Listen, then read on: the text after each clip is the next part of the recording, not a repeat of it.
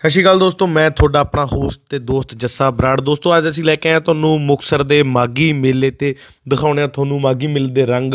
ਤੇ ਦੋਸਤੋ, ਜਿਹੜੇ ਵੀਰਾਂ ਨੂੰ ਇਹ ਵੀਡੀਓ ਚੰਗੀ ਲੱਗੀ, ਉਹ ਕਮੈਂਟ ਕਰਕੇ ਜਰੂਰ ਦੱਸਿਓ ਲਾਈਕ ਕਰਿਓ ਵੀਡੀਓ ਨੂੰ ਤੇ ਆਪਣੇ ਚੈਨਲ ਨੂੰ ਸਬਸਕ੍ਰਾਈਬ ਕਰ ਦਿਓ। ਨਹੀਂ ਸਬਸਕ੍ਰਾਈਬ ਕੀਤਾ, ਥੱਲੇ ਰੈੱਡ ਬਟਨ ਆ ਰਿਹਾ ਸਬਸਕ੍ਰਿਪਸ਼ਨ ਵਾਲਾ ਉਹ 'ਤੇ ਕਰਿਓ ਤੇ ਬੈਲ ਆਈਕਨ ਤੇ ਜਰੂਰ ਦਬਾਓ ਤਾਂ ਕਿ ਨਵੇਂ ਨਵੇਂ ਵੀਡੀਓ ਦੇ ਅਪਡੇਟ ਤੁਹਾਨੂੰ ਮਿਲਦੇ ਰਹਿਣ।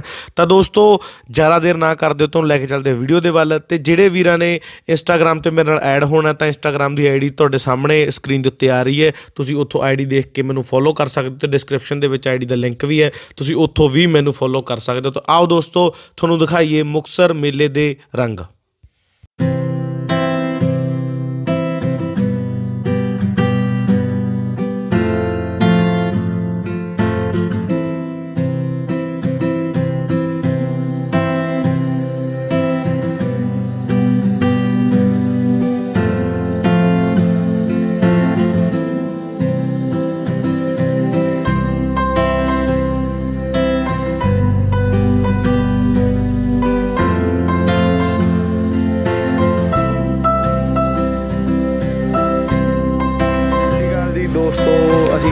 ਚੁੱਕੇ ਹਾਂ ਹੈ ਫਿਰ ਨੰਨੂ ਕੋਲੇ।